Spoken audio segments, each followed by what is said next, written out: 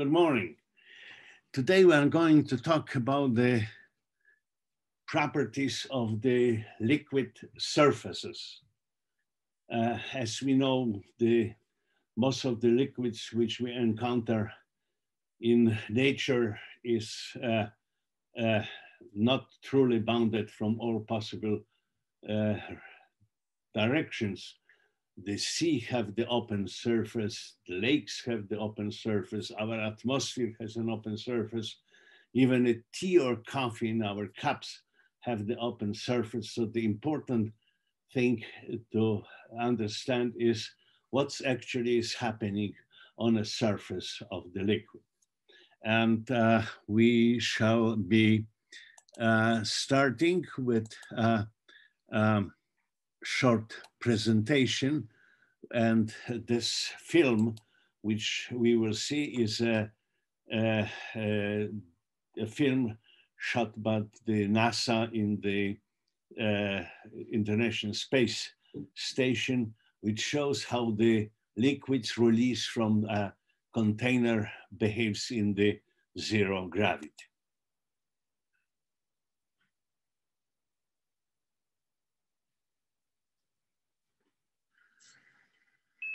It's kind of cool just to watch them move.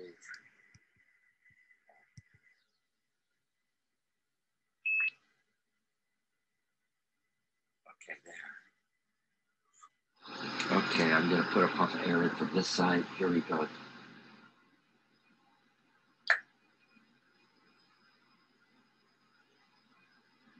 Wow. Cool. Wow, I just love those oscillations. Here we go. Okay, let me switch it to a black background.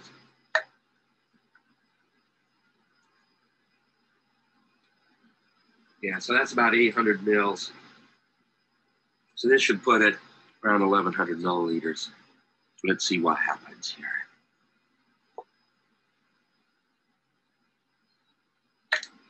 Oh, I just love that. Look at that. Amazing. Just one of these jaw dropping moments.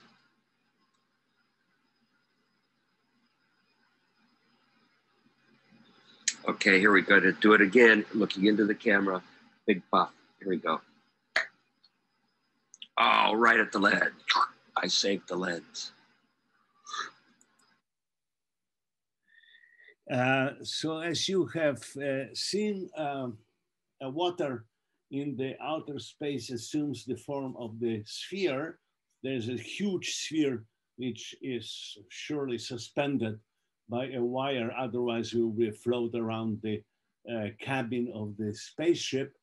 But when it is excited, it shows a peculiar form of a changes of shape of the droplet. And in addition, at a certain stage, we have seen that a piece of that volume of that water uh, is ejected out of the uh, big sphere, but again, it assumes a shape of a smaller sphere which floats freely in the environment of the, of the spaceship.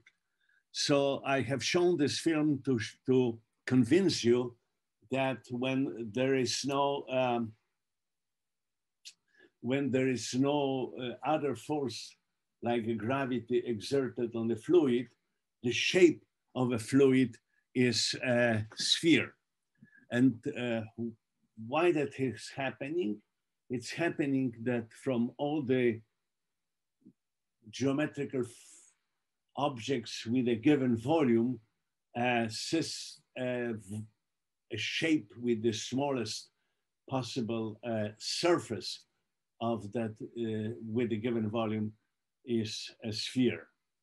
So when this is happening, then we uh, uh, can immediately deduct that the surface energy uh, uh of uh, which is related to the, the, the outer layer of our liquid volume must be larger than the bulk energy of the liquid and that this excess energy is responsible for the fact that the liquid assumes that beautiful spherical shape.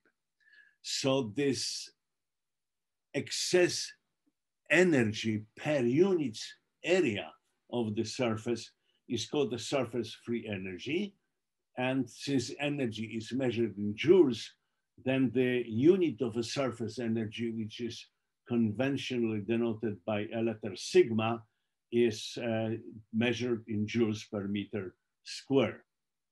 So if I have a volume of a liquid uh, uh, with the total surface energy script S, then the total surface energy is the surface energy uh, sigma times total uh, surface energy.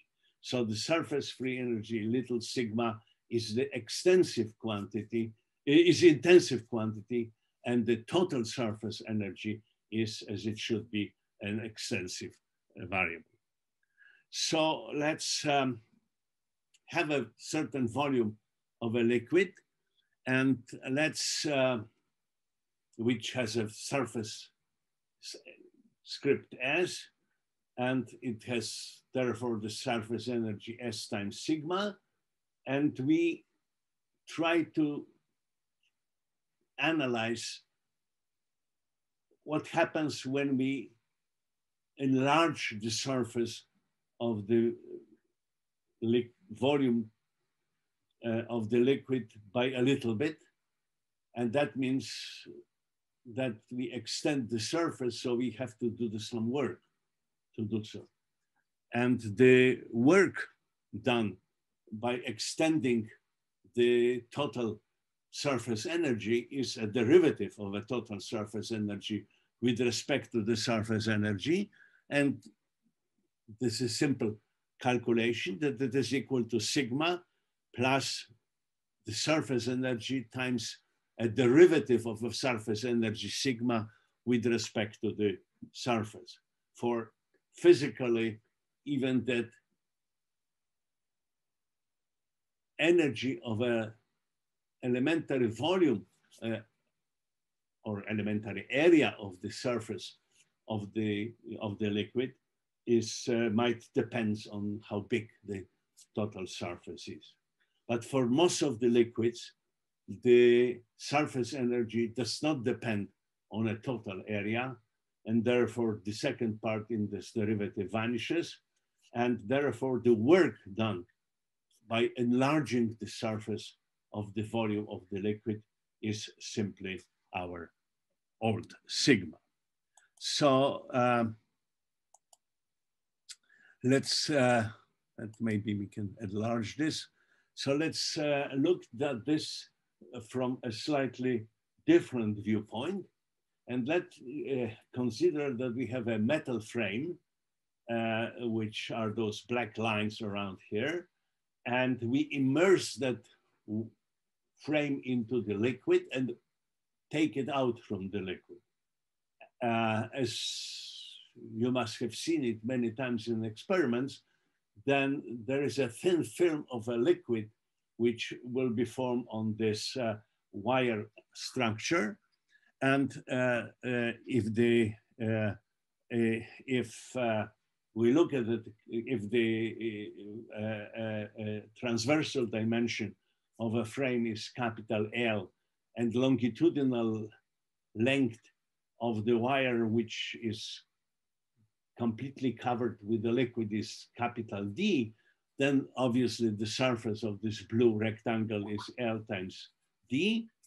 And uh, now we, the, the right side uh, uh of this wire structure is movable.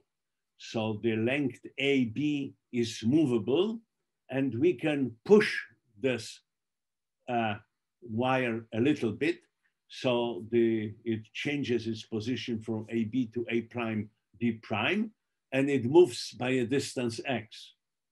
But if we pull that wire, then we exert, then we enlarge the area of the surface covered by the liquid by a delta S equal obviously length L times x, and we do some work against the surface tension. And that work, according to the definition, is the area Lx times sigma. So the since the work is a force times distance, then it is obvious from comparing these two equations, these two equations, that the Lx sigma is equal to f of x, and that means that the sigma is the force which we have to apply in order to enlarge the area divided by the length L. And then we get another definition of a surface energy sigma, and now it is measured in the newtons per meter. That is, of course, in agreement with the previous one because a joules over meter square is exactly newton by meter.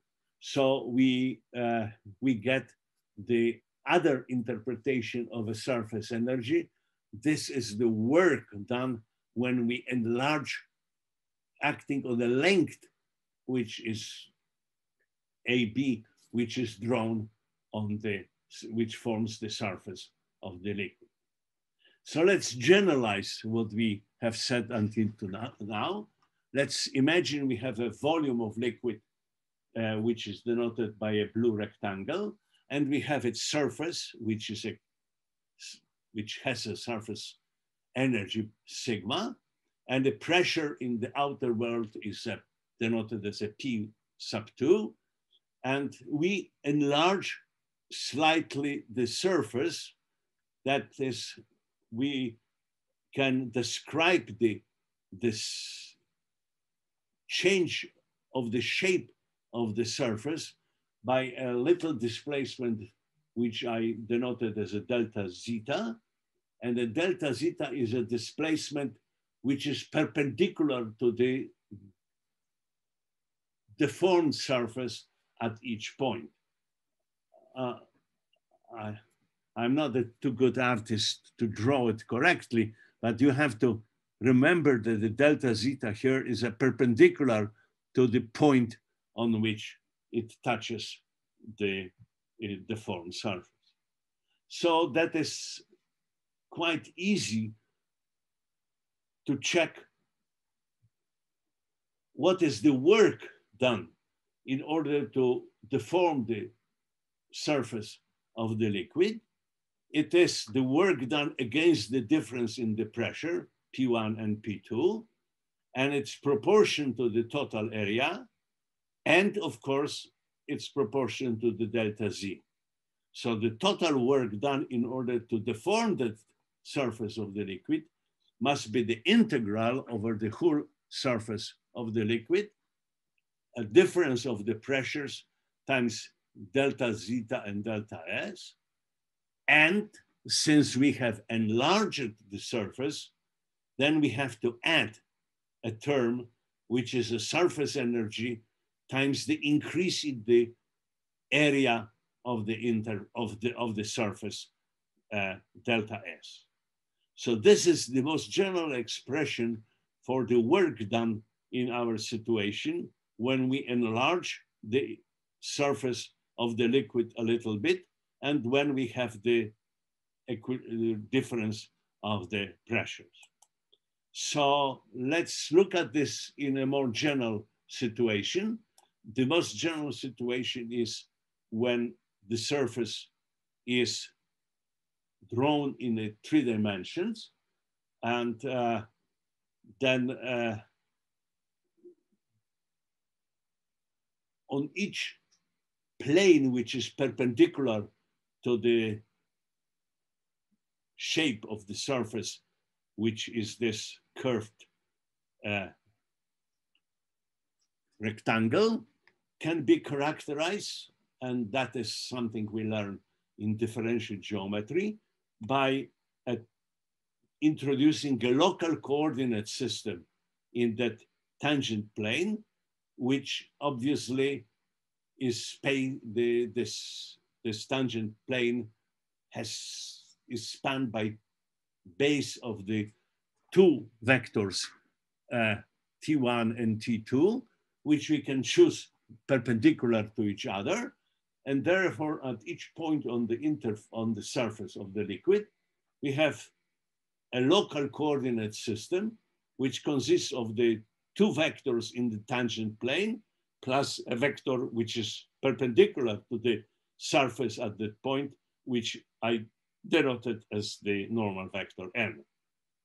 And the geometry of that curved surface is totally characterized by uh, two main curvatures radiuses, which on this drawing is denoted by K, but I will use the further notation that K is equal to R. I'm sorry, I had this beautiful picture from somewhere, so I decided to keep it on the expense of changing the notation a little bit in calculations. And uh, some of those two curvatures, K1 and K2, uh, which is the radius of a curvature of two main circles we, which we can draw on the, on the surface, which are to which the vectors T1 and T2 are tangent.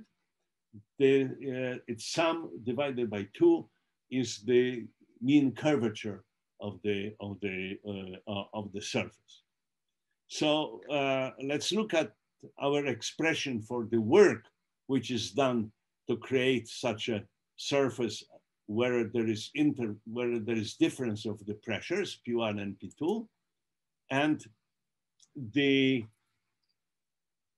differential geometry, which we just discussed, tell us that the excess surface area, delta S, is the integral over the whole uh, interface a delta zeta times a sum, inverse sum of the principal radiuses.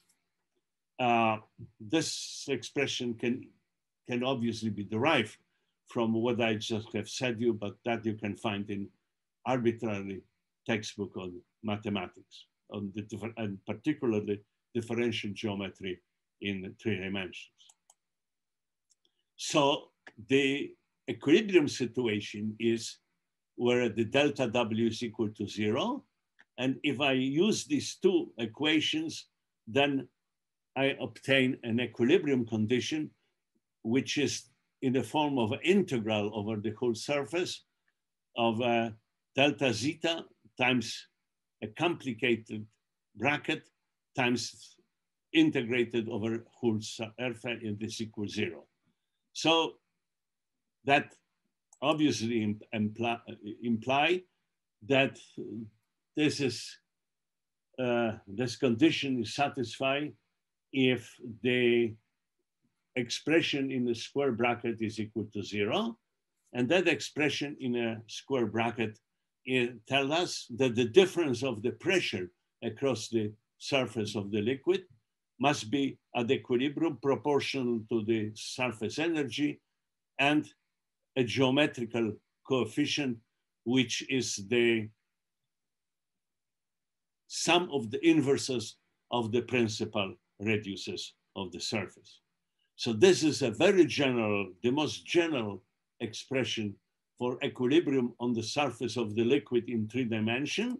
And uh, it is named Laplace condition since it was first at least written in an explicit form by French mathematician Laplace.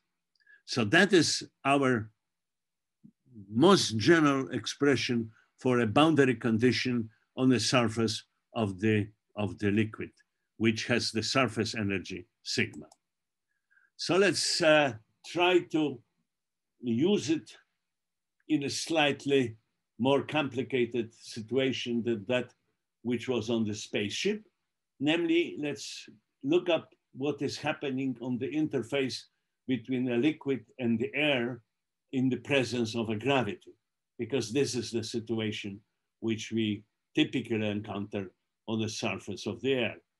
So I denoted as a P sub two, a pressure in the air, and a P1 is, a, is, the, is the pressure of the liquid. And I shall, from now on, basically only consider incompressible liquids. And as we remember, the incompressible liquid is a liquid for which divergence of a velocity field is equal to zero. So this orange vector is a gravity, and we have the, if there was no gravity, we had this boundary condition, which is given by the uh, Laplace law. Uh, in the situation we discussed, the pressure in the air is basically constant, and the pressure in the liquid, as we know from our discussion of ideal fluid, is a certain constant minus density of the liquid times the gravity potential of the earth gravity times Z, where the perpendicular axis, axis from the surface of the our earth is denoted by a little z. So this is the expression of the for the pressure. So when I apply this to the uh, Laplace uh, condition, then I obtain the following equation for the equilibrium condition on the surface of a liquid in the presence of a gravity. And uh, this uh, uh, is uh, interesting for, you can easily see that the, there is a characteristic dimension which appears in our equation and that characteristic dimension is a square root of a surface energy divided by G and rho. And it, this square root of this ratio has a dimension of a length, and it is a capillary length. And the capillary length for an ordinary water on the surface of the, on, on the, uh, on, on earth, I mean, the, you know that the the Earth gravity G changes depending on where we are on the surface, but roughly speaking is all the time slightly less than 10 uh, uh, meters per second square. So this capital, cap, capillary length for a water is of the order of a 0.12 uh, centimeter. Uh, so that is this is z over the L's uh, uh, over LC squared. So that is a very, very nice expression. And if we want to analyze it in a general situation, uh, then we had to, we, we can use another slightly more uh,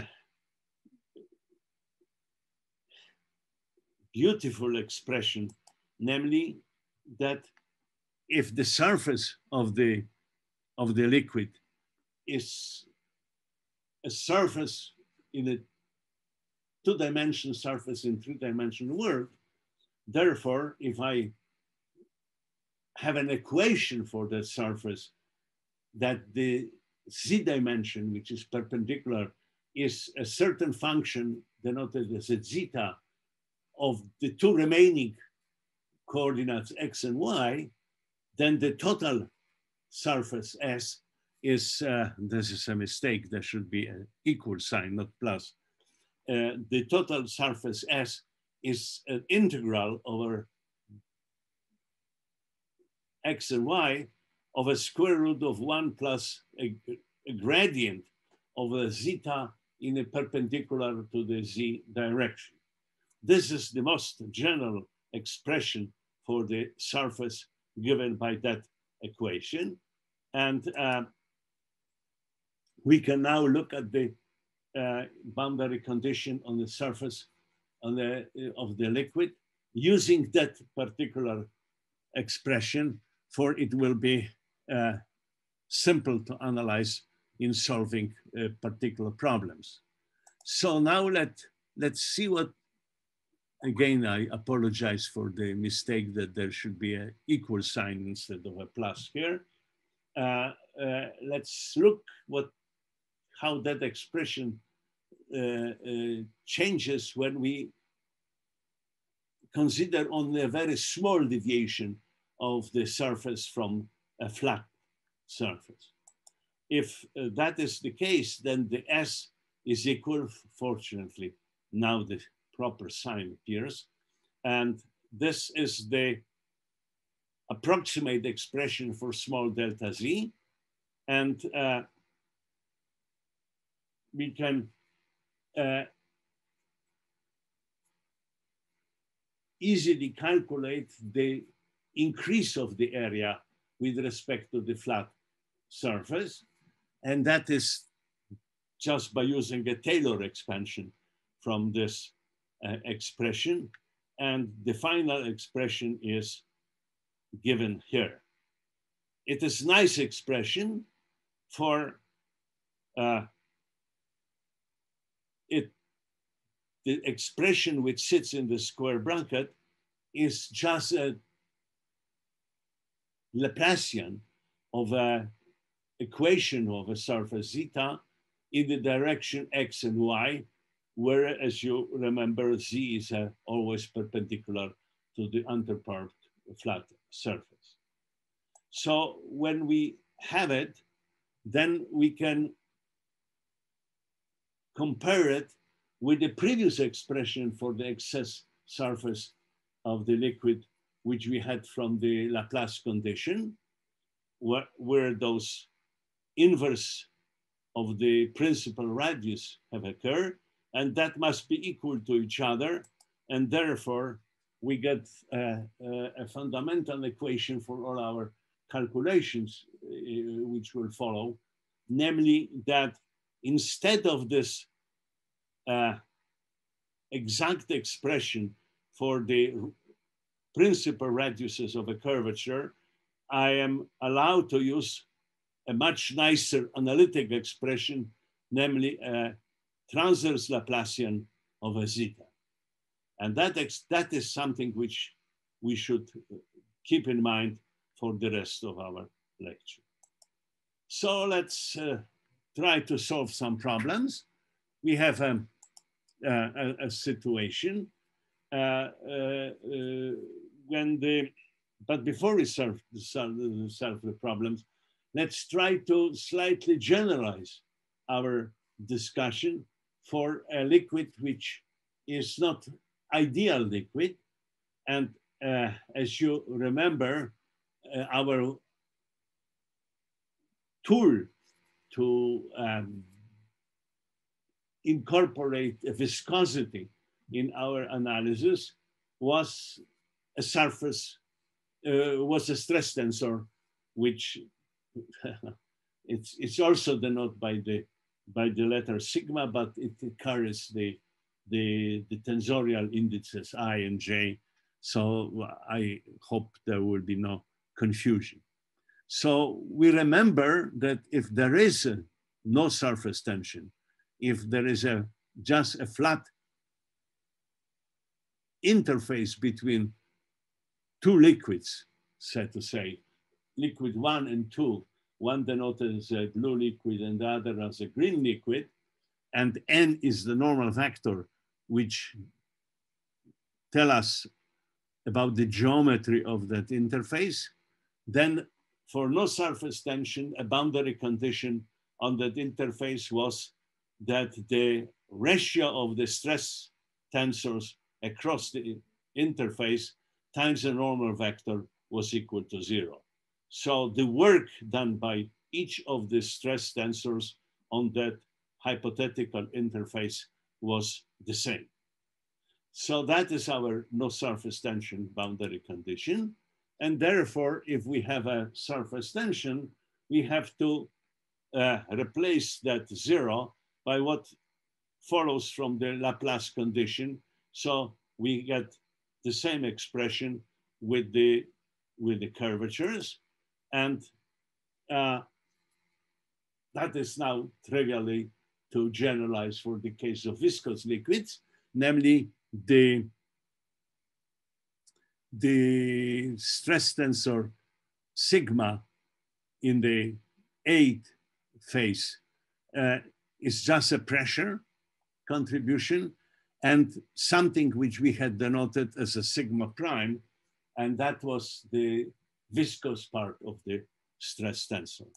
So this is uh, now our the most general expression for the boundary condition on the surface of the two liquids where there is a surface energy sigma on the interface and uh, the, there is the full glory with viscosity of the liquids. As you can easily, if you remember the expression for the sigma prime, that it contains a derivative of, of the velocities and particularly that it contains the coefficients of viscosity, both surf, both shear and the bulk viscosity, then this is a fairly complicated expression which we had to analyze, which we had to use in our analysis.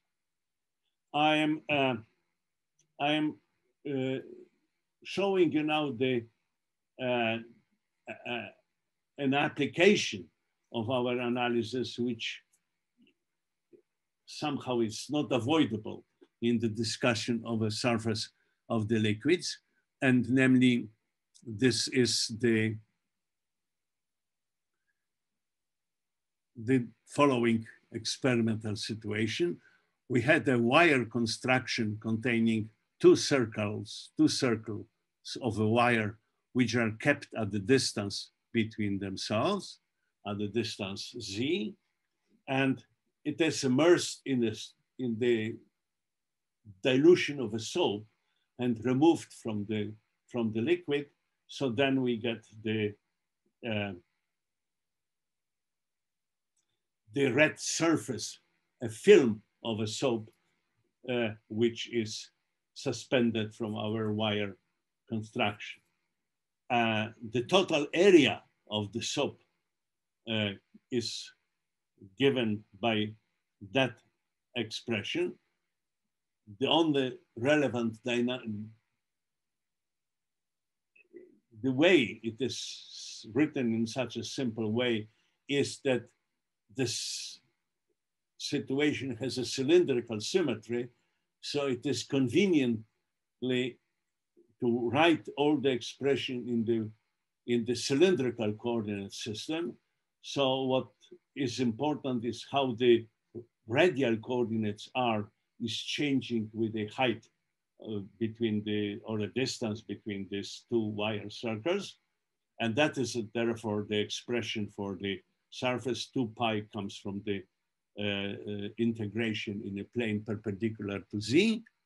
And that is the expression and uh, the results for the shape is a certain constant C1 times a cosine hyperbolic of Z and there is another constant C2. I uh, had formulated this as a problem 12 for you to do at home and to try to use uh, what we were talking about the uh, on our mathematical refreshments about the variation calculus to derive that expression and um, and in particular, once you derive that expression, it is worthwhile to spend some time to discuss what is the physical meaning of these two integration constants C1 and C2, which have emerged in our uh, solution. So uh, let me now go on and discuss a much more complicated problem, which is the continuation of what we have discussed uh, uh, for uh, quite a length uh, of discussing the liquid, uh, the surface gravity waves in the ideal liquid. And that is just the slide which refreshes your memory about coordinates we use and the analysis of what we have been using. We had a liquid which was, uh, uh, and there were surface waves with the length weight. And uh, this is how we solve the equation. And the frequency for those waves turned out to be, its square was proportional to the G and the wave vector K. So this was what we have solved when the, there was no surface tension. And now we shall see what are the modification to the surface gravity waves which are introduced by the presence of the surface tension.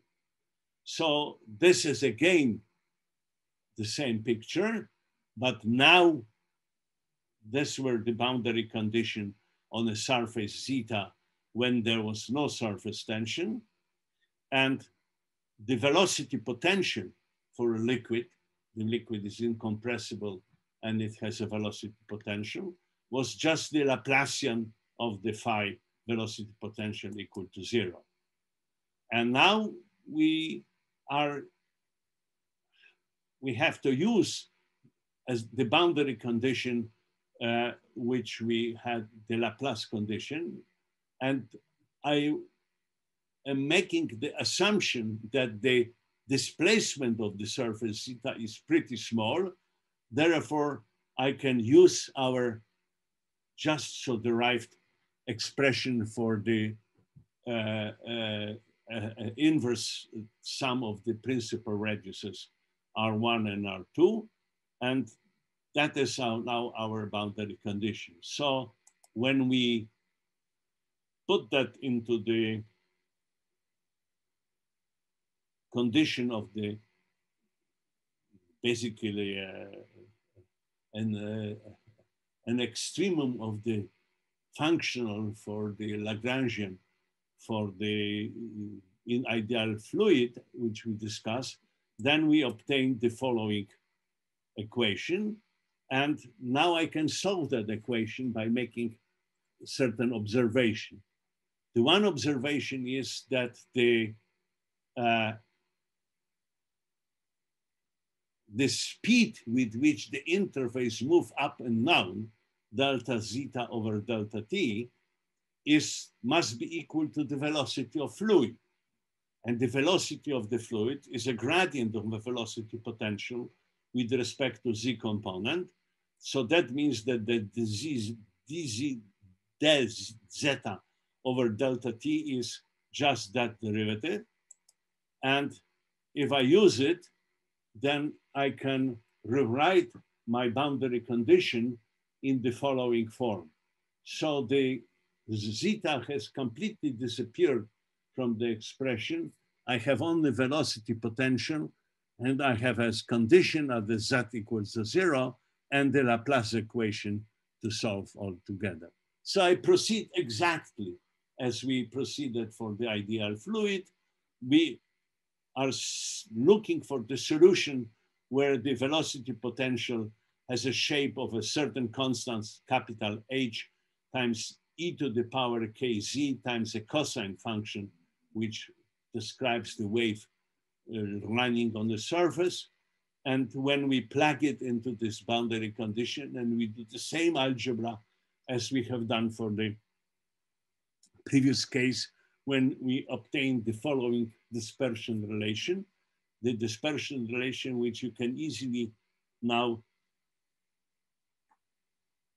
observe that if there is if the surface tension is set equal to zero, we regain our expression for the surface gravity waves on an ideal fluid. But when there is a surface tension, then the equation is changed. All over the sudden, it has the, it depends on the third power of the wave vector, but I can nicely rewrite it in the following form. And then it is the dispersion relation for uh, gravity waves on the surface of the ideal liquids multiply uh, by a dimensionless bracket because the that's all I can write as a like capillary length square times L wave vector k square. So that is our uh, that is our expression. And in addition, now I can also solve the same problem for the gravity waves on a shallow water. That is when I will not make an, an assumption that the height of the liquid, which was denoted by little h, is infinite. And then the only difference is that instead of the coefficient a times e to the power ks, I have to replace it by the coefficient h, capital H, times a cosine hyperbolic, depending on z, and the cosine omega, the wave propagating on the surface remains the same. And then when we proceed exactly as before, the dispersion relation on the shallow water becomes of that form. Uh, this is expression for the frequency of a gravity surface waves on a on a infinite depth liquid. And then there is this coefficient tangent KH, and uh, you remember that from lecture in mathematics, that the tangent hyperbolic looks essential as a step function because it is most of the time equal to either plus or minus one, and then it changes on the, in the relatively narrow region around c equals zero. So that is, this factor describe a shape of the liquid at the equilibrium, and that is our expression for uh, frequency.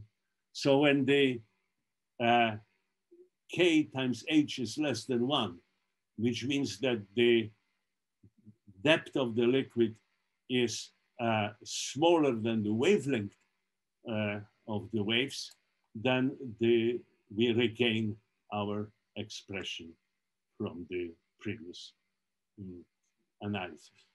So as you see, the surface tension, that which we include the surface energy in or surface tension, these are words which we can use uh, without changing essentially any physics, is, uh, is of great importance. Uh, finally, I am not going to present you any calculation at that point because they are pretty lengthy calculations, but we have seen it that on the movie from the, from the from the film in the spaceship that if I have a sphere of the liquid with a surface tension, which is shown on this drawing as a blue liquid with a green kind of a skin around it, and that just is meant to indicate the surface energy sigma, the radius of the sphere is uh, capital R, and the density of the liquid is rho, then as you remember from the film at the beginning, when they pinch the sphere, then it vibrates. And it, it vibrates by changing its shape. And they are, were not arbitrary changes, but they look pretty regular. So uh, the way to solve this problem is to use the same equations as we used before. The Laplacian of the velocity potential is equal to zero and the boundary condition. And the only problem is that we have to write them in the spherical coordinates.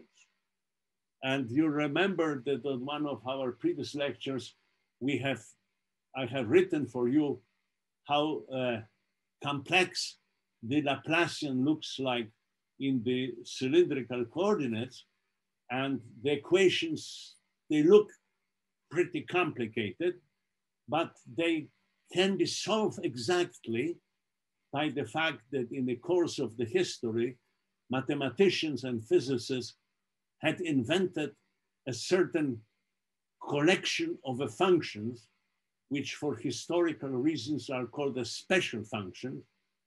And they are uh, solutions of the differential equations in the spherical coordinates in a three dimension. And they out of them, those which are convenient for the problem we are now discussing are called Legendre polynomials and associated Legendre polynomials. And they are denoted by this cryptic term P, M, L, and depend on the cosine of theta, which is the angle. And we use the previous equation, Laplacian of phi plus boundary condition, making assumption that the velocity potential is a function of a distance, the radius of a sphere, and two polar angles, two cylinder polar angles, theta and phi, and time.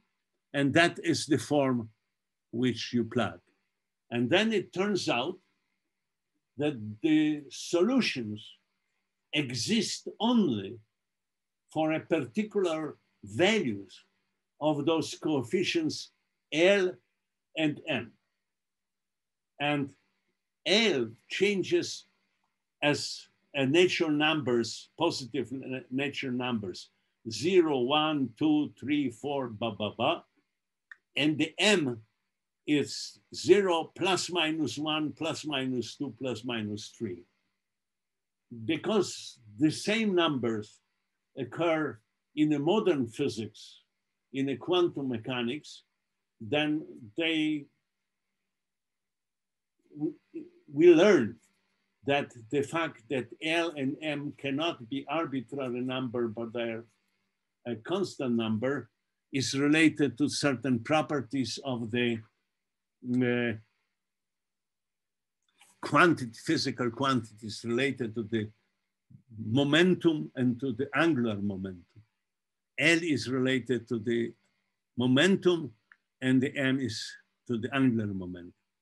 But if we plug this phi into the set of equations which we just have discussed, then, I'm sorry, then the frequency for the waves on the surface of a liquid globe turns out to be proportional to the sigma and inversely proportional to the radius r cubed, and they depend only on the L. And they depend on the L in a particular fashion. It is L times L minus one, L plus two. Why this expression is a very interesting. First, that it shows that the frequency for L equals zero is equal to zero.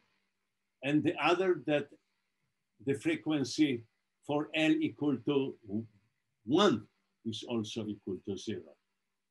And uh, so what is peculiar for uh, what, what, what, what what is peculiar in these frequencies that they vanish for L equals zero and L equal to one.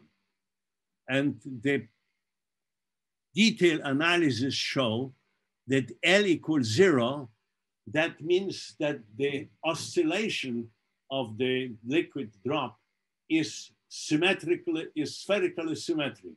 It's a pulsation, is the breathing of the spherical drop. And since we have made an assumption that this liquid is incompressible, then the conservation of a mass prohibits such excitation. And the breathing, geometrical breathing, increasing the radius and shortening the radius is only possible when the density changes and the gene density must be constant. So the fact that this frequency vanishes for L, L equals zero, that physically corresponds to the, is, is, is a consequence of incompressibility. But what, why it is zero for L equal to one? L equal to one, this is the wave which will correspond to the translation of a whole sphere without changing its shape in direction in whatever direction in the space. And uh, that, of course, is not an excitation because when the sphere moves with the constant velocity in arbitrary direction, then I can always, using the Galilean principle, choose a frame of reference in which this liquid is stationary. So L equal to one, uh, L equal to one is in fact uh, Uh, a number which characterize a, a, a, a, momentum of a sphere center of mass, and therefore that is the solution the fact that the frequency is zero means that there is physically no difference between liquid when it moves with the constant velocity. So the excitation must start with, we observe the change of the shape with L, two, three, four, five, and so forth. And that is, that is a remarkable result. And um, this, uh, this solution is also uh, a mother of a, another very important physical phenomenon, which is called the Mullins and Sekerka instability, namely in the 60s, two uh, uh, metallurgists, theoretical metallurgists, Bill Mullins and Bob Sekerka, uh, have uh, asked themselves the question, what happens when I have a liquid metal, which is a liquid. And when inside of that liquid, there is already crystallized spherical metal drop, uh, a solid metal sphere, which is colder than the rest of the liquid. Therefore, this colder nucleus of a solid metal will grow. And how does it grow? Does it change the shape or not? And that problem is slightly more complicated because in addition to the surface tension, it has to include also the fact that if the sphere is solidifying, then there is a latent heat for a phase transformation, latent heat for crystallization, which is released on the interface, and it has to be incorporated in the analysis of the, uh, of the motion of the nucleus but that can be done. And it turns out the expression looks pretty similar to what we just have seen, but the, the only problem is that, that excitations of a surface of freezing drop are unstable. And they are unstable when the, this coefficient L becomes larger than six. And that is uh, a fundamental instability in the first order phase transition physics. It also happens for the flat surface and for other forms. And it also is uh,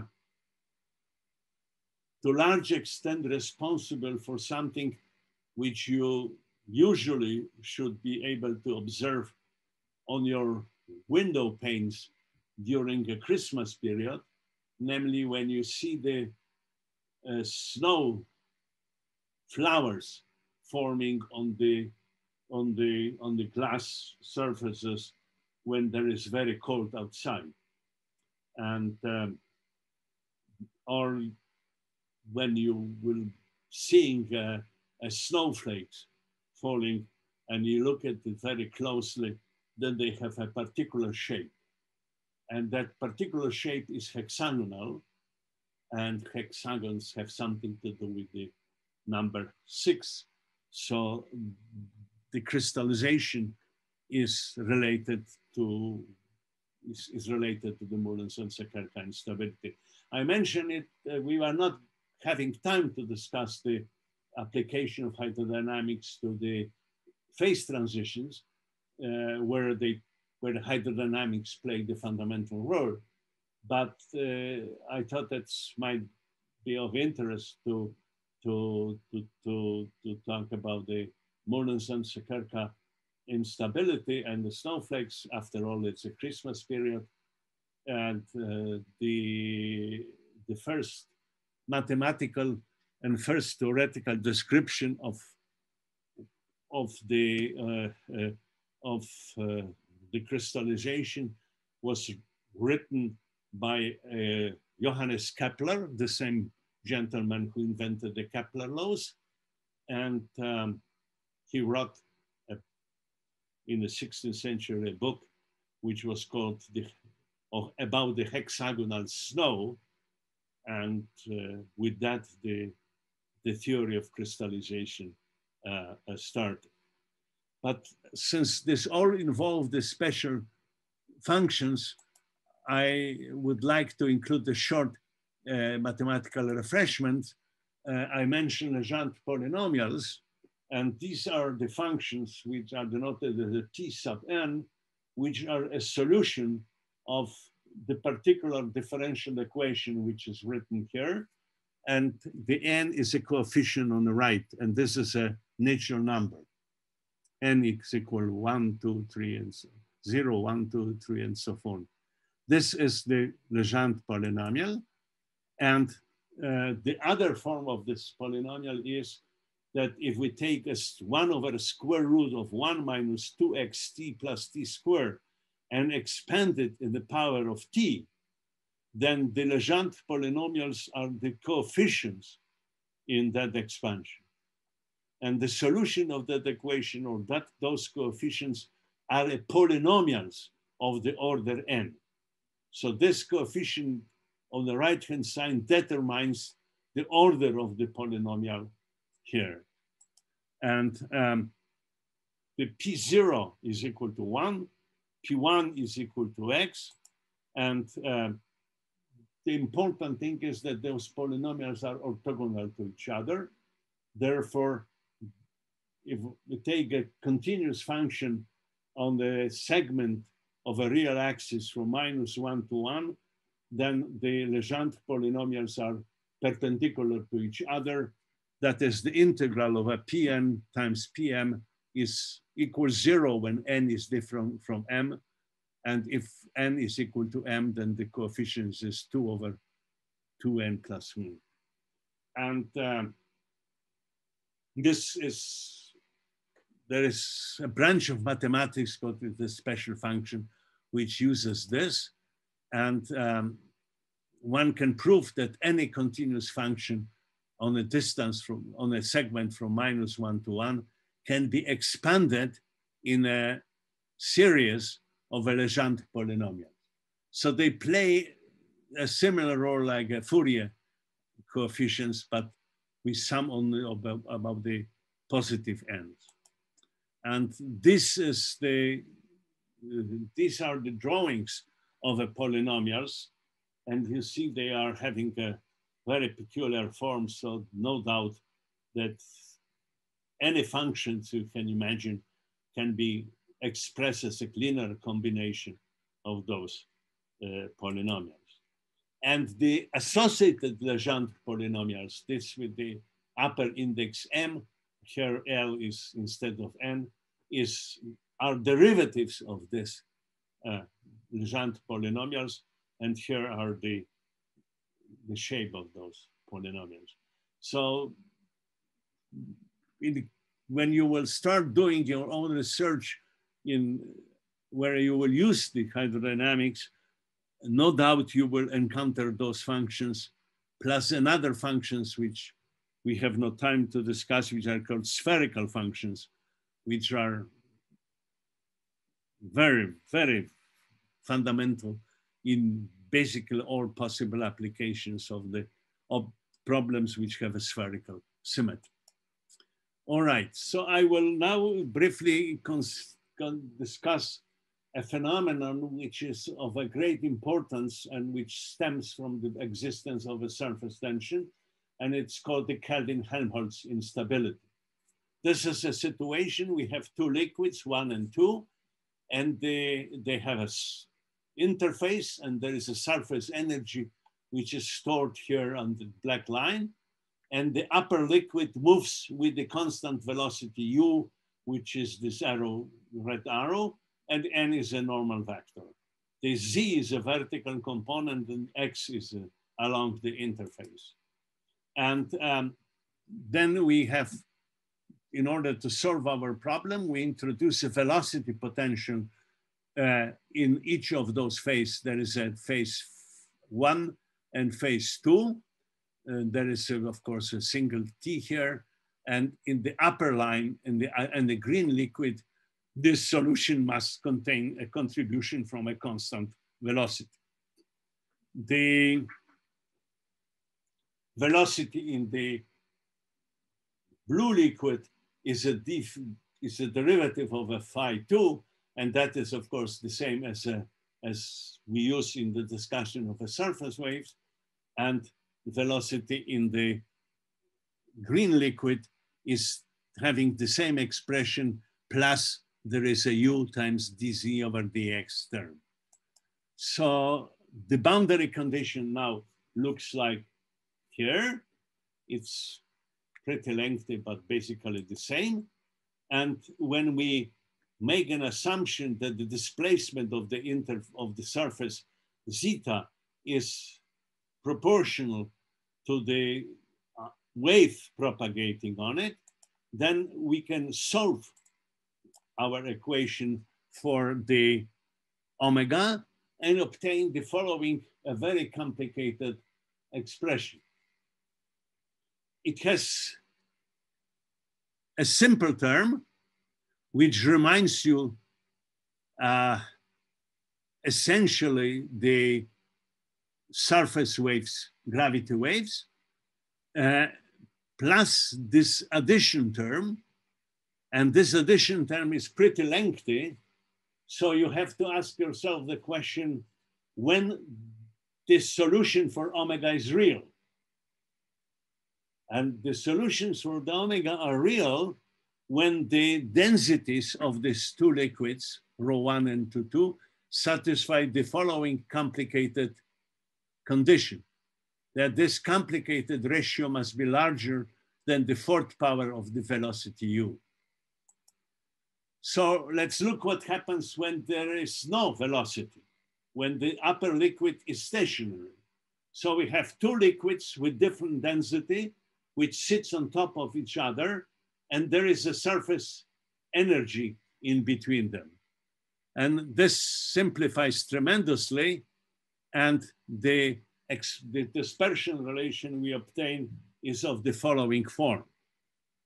And um, you immediately observe that there is something uh, complicated here, namely that if the densities of a second phase of this blue liquid is less than the density of the green liquid, that is the upper liquid is heavier than the lower, then this expression changes time, uh, sign. So we have a negative number here. And uh, we introduce the number which actually has even a name, it's called the Atwood number. And it is the absolute value of the density over the sum. So this number is always positive. So when we write our expression, then this dispersion relation is like a gravity wave, but there is a capillary wave contribution, but this term changes sign because it depends on the sign of Atwood number. And therefore, uh, there is also the average capillary length, which is a sigma over, and therefore, if the wavelength lambda is larger than the average capillary length by a factor which is inverse of the Atwood number, then the situation becomes unstable. So what is the physical meaning of it? It is that if I have a heavier liquid sitting on the top of a lighter liquid, but there is a surface energy, then for the wavelengths which are shorter than a certain critical wavelength, the situation is stable. In spite of the fact that the upper liquid is heavier, it does not fall down. But if the wavelengths are larger, then the instability develops and the upper liquid collapses through the lower. You can do this experiment at home, and I strongly urge you to do this. Take a glass of water and they cover it by a cheesecloth and turn it upside. The cheesecloth has these little threads perpendicular to each other. and turn it upside down. It's convenient to do that over a sink or over the bathtub. And after the initial time, the situation becomes stable. A heavy liquid is supported by the that cheesecloth, which plays the role of a surface energy over a lighter liquid, which is the air. And then you take a finger and punch the glass of water from a side. When you do it very fast, nothing happens because the wavelength which you excite in the surface in the cheesecloth are very short as compared to the Atwood, inverse Atwood number, and therefore we have a stable situation. But when you put your finger inside of a cheesecloth and just press it, then you excite a length of a wave which is comparable to the size to the to the to the size of the of the radius of the glass, and then the the whole water goes down through that cheesecloth. So that is the Kelvin-Helmholtz instability, which plays tremendously important role. Uh, when we start talking about the magnetohydrodynamics, you will immediately see that the rule of that surface of that term plays a square of a magnetic field. And in some sense, the Kelvin-Helmholtz instability is one of the most important instabilities in the plasma dynamics and uh, makes the life of those who try to make uh, fusion reactors pretty um, complicated. And I would like to end showing you an experiment with the Kelvin-Helmholtz instability. Uh, uh, the film comes from the laboratory at Cambridge uh, University. this is the film, and with it, we uh, will, when it finished, we will be over uh, today.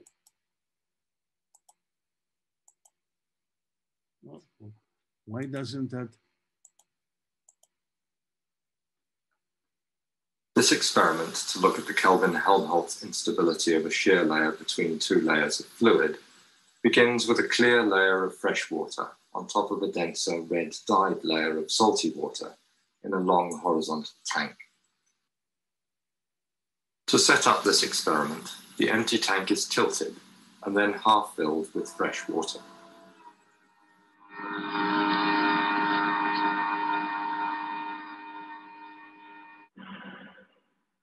Very slowly, so as not to mix the fluids, dyed salty water is introduced from the bottom corner of the tilted tank. This has been speeded up in the movie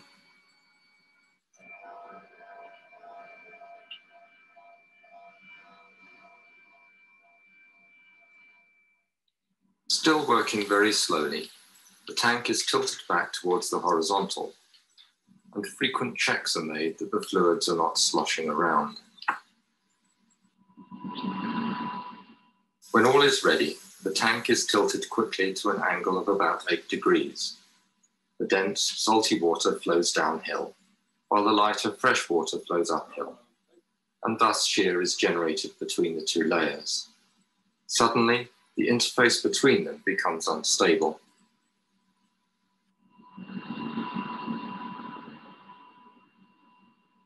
Let's watch that again closer up. Remember, the lower dyed layer is flowing to the left, while the clear layer flows to the right. The instability initially forms a distinctive pattern, but quickly generates turbulence and mixing of the fluids. Keep your eyes open and you'll see interesting flows like this all around you.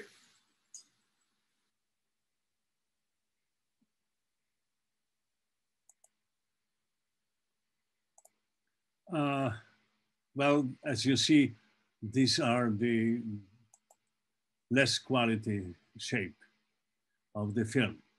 Uh,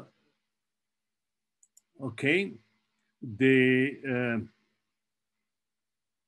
so this was over for today. And uh, with this uh, application to the surface, we basically finish our discussion of the hydrodynamics um, of the fluids and uh, uh, I had to make a decision now with what to continue. Uh, initially, I thought that we will have more time.